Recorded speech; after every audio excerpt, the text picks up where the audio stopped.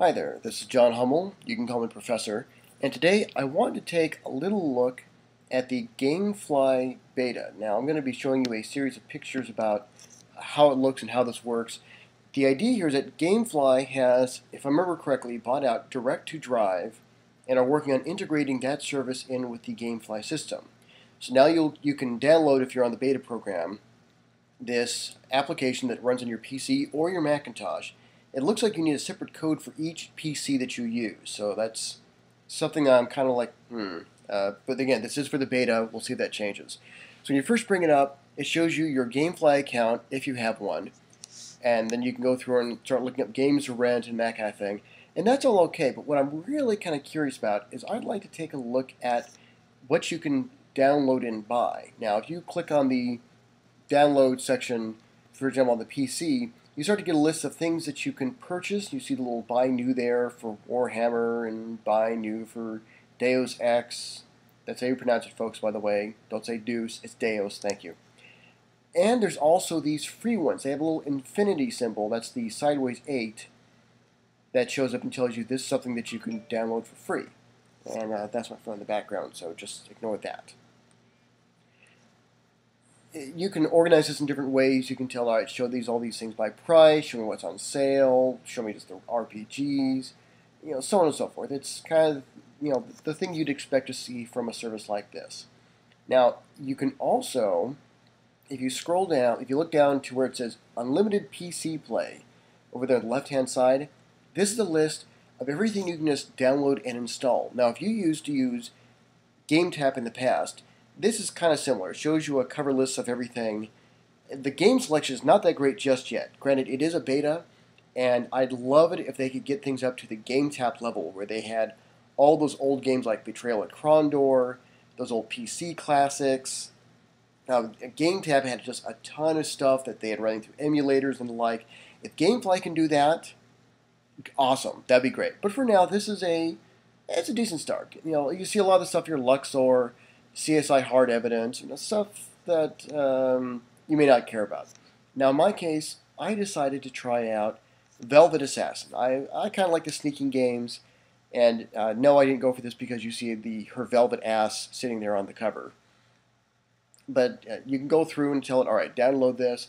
You can do the buy it completely. So this is a good way if you want to try a game and then buy it later, and then you can always cancel your GameFly subscription service later on. So that's a nice little option there. Kind of like the idea. And In fact, if they get a good library going here, I'd love it if I could do that with any game. Imagine trying out Warhammer 40,000 and going, ah, okay, I played through it, I'm kind of done. Or going, you know what, it's on sale right now, it's 30 bucks, I'm going to go and buy a copy and then I can always play it later on. So that's something that may give Gamefly an advantage over Steam and EA's Origin and whatnot.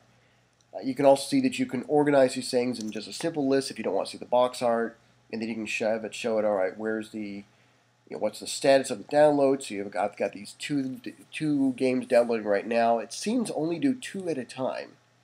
Okay, that's fine. So in this case, it's Saints Row and Velvet Assassin. The download speed wasn't too bad. Uh, it did not feel as fast as, say, again, Steam. But as you can see, it's downloading about 1 megabit per second per game.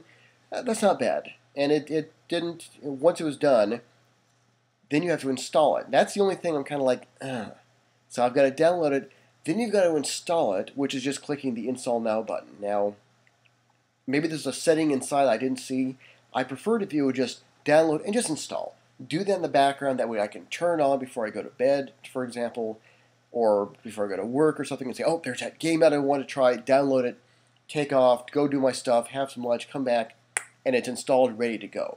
In this case, you've got to click the Install Now button, which then it takes up the GameFly screen and it sits there and chugs away and installs, and you have to wait, wait, and you wait some more. This this seemed to take almost longer than the actual uh, download. I don't know, maybe it's just this game. At the end, it did give me an error, but I'm assuming that's just a Windows 7 kind of thing. But once that was done, I launched the game. It did a authentication process. This is something similar to what you'd see in, say, Steam or uh, a, an EA Origin game or the like, where it's going to verify, all right, you got to check our DRM, make sure you're okay. And then I was off playing Velvet Assassin. So this is a pretty good startup. Again, I think the game library is pretty sparse. I noticed this morning there were more games being added, so that I think that's a good sign even here in the beta. Overall, it's got some potential. Again, if they could get to the GameTap level stuff and include not just the new games, but all those old classic games too, uh, people will play them.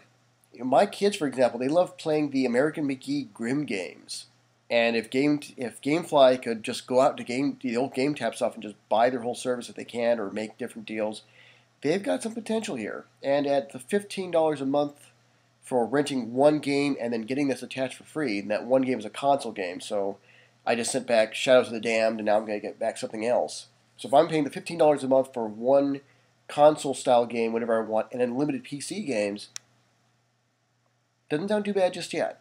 If they do like a PC only thing for say ten dollars a month, they could give the other folks some real competition. Anyway, we'll see how it goes, and if you have any questions, uh, send me an email. I'm at john.c.hummel at gmail.com. Till next time, class dismissed.